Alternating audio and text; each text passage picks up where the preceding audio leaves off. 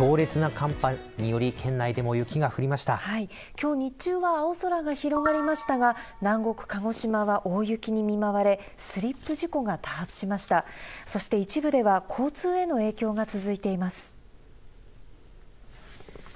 激しく舞う雪が街灯に照らされ真っ白に染まった住宅街。10年に一度とも言われる強い寒気の影響で県内各地では昨日から今日未明にかけて雪が降り各地で積雪がありました。鹿児島市東郡本町の気象台では最大で4センチの積雪を観測しています。昨夜から薩摩地方に出されていた大雪警報は今日午前4時過ぎに解除されましたが各地で雪による影響が出ています。鹿児島市紫原に向かう坂道では雪で斜面が凍り複数の車が立ち往生していました。登るとしたら車がいたんでちょっと止まったらもう1回止まったら登れなくなってしまって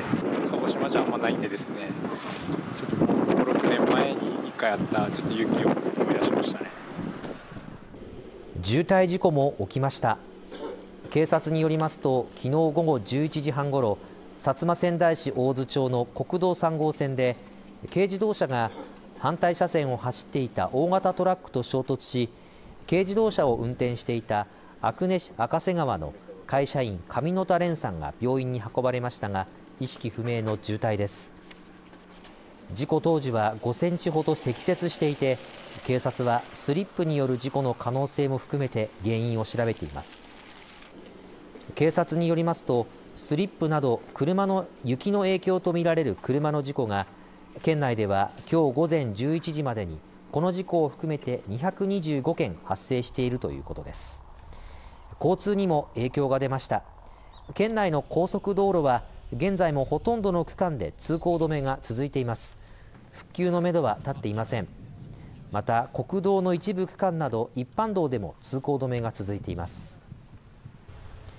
霧島市横川町から湧水町にかけては複数箇所で車のタイヤが空回りした大型車両など数十台が連なって立ち往生しました。先頭近くの車両の運転手は次のように話しました。いつぐらいから待ってる夕べ7時ぐらいか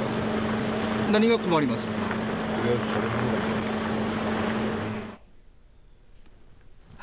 まあ、このほか鉄道や海の便、空の便に欠航が相次ぎましたがこの時間までに多くの交通機関で運転を再開しています。